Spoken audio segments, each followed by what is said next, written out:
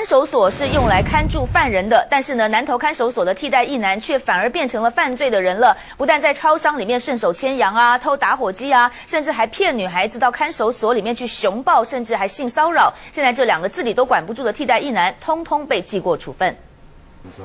对他现在眼睛也他一直在瞄啊。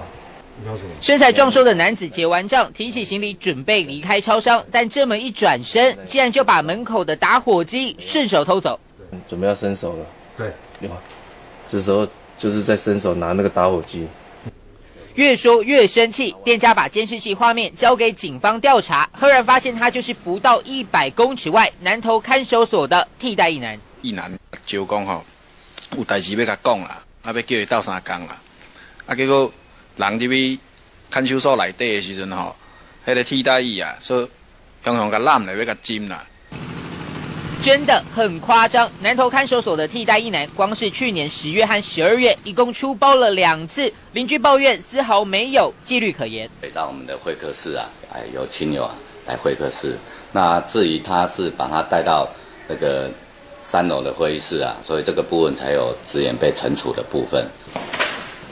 替代一男因为不同原因，已经不需要日晒雨淋操练。现在不但涉嫌性骚扰，又偷东西。专门看管犯人的看守所，却连自己人也都看不好，真的把脸丢光了。中天新闻周大祥、黄顺阳南投参谋岛。